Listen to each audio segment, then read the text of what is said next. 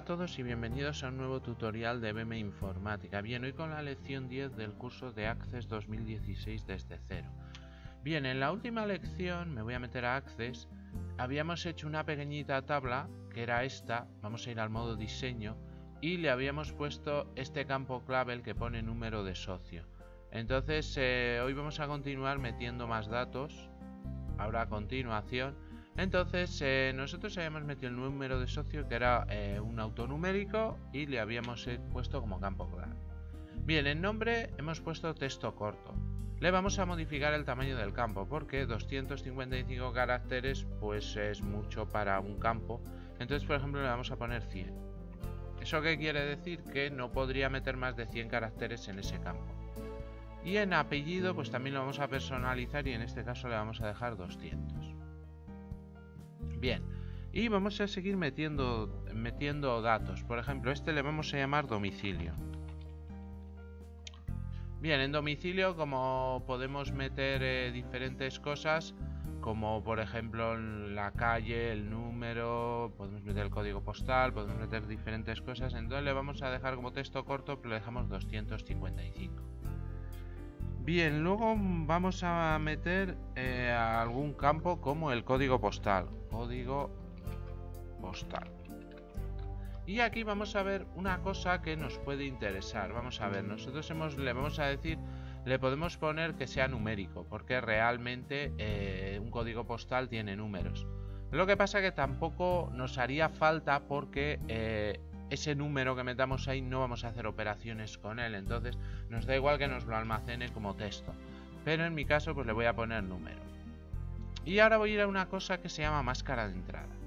Bien, hay dos tipos de máscaras de entrada, las que hacemos nosotros y las que nos crea él. Vamos a empezar por las que se hacen a mano. Normalmente un código postal suele tener 5 eh, cifras. Entonces, para yo decirle que solo quiero meter 5 cifras, voy a hacer lo siguiente. Voy a usar el 9 como comodín. Entonces, si yo pongo 1, 2, 3, 4 y 5 9 es lo que, me, lo que le estoy diciendo es que voy a meter 5 posiciones numéricas y no me va a dejar meter más.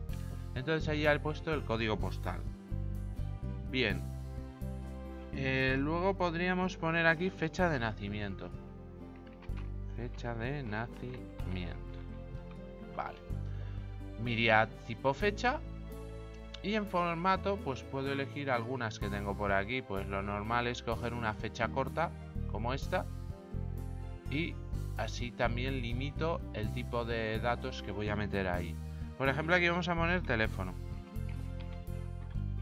En teléfono por lo mismo le puedo hacer un numérico, número.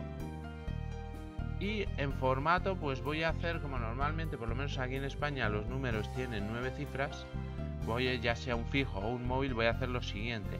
En máscara de entrada le voy a poner 999, voy a dejar un espacio, 99, espacio 99, espacio 99 y así tengo las nueve cifras y separadas para que se vean bien. Luego voy a ponerle aquí foto. Aquí la foto no se va a ver en la tabla, pero luego en el formulario se vería. Y lo que vamos a usar es una opción que se llama datos adjuntos, que la veremos luego en el formulario. Lo bueno que tiene eso es que me va a permitir una o varias fotos o algún otro tipo de objeto, pero bueno, en principio sería eh, una foto. Bien, luego vamos a pasar a notificaciones. Vamos a suponer que queremos marcar notificaciones, así. Si el socio quiere que le notifiquemos información o no, entonces vamos a hacer un campo si no. Un campo sino es un campo que viene un cuadradito donde ponemos un símbolo de validación que también se verá mejor en el formulario. Ahí estaría. Y luego vamos a poner aquí, por ejemplo, trofeos para saber eh, cuántos trofeos ha ganado ese socio. Aquí como en principio no van a, seguramente no son muchos, pues le vamos a poner un texto corto, perdón, un numérico. Y en vez de un entero largo, pues por ejemplo le podemos poner un byte. Aunque tampoco pasaría nada por poner un entero.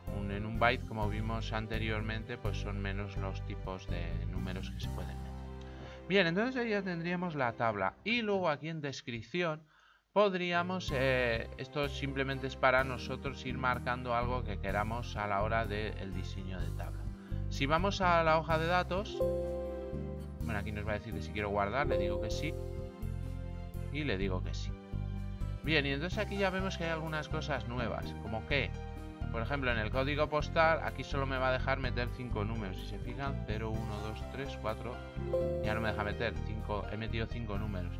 En fecha de nacimiento me sale dos cosas. Puedo usar el calendario para meter la fecha, podría darle aquí buscar o meter la mano en el formato que yo le he dicho, pues 22 barra del 12 de 1985. Ya ya no me dejaría meter más. Notificaciones, un campo si no, yo marcaría aquí. Y estos serían los adjuntos.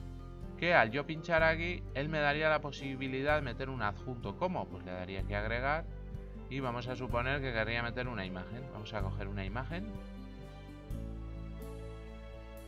Y la imagen pues vamos a suponer que es esta que tenemos aquí. Y le doy a aceptar. Podría meter más. Y yo simplemente dándole aquí y, eh, y darle a la imagen lo vería. Aquí nos va a salir la imagen.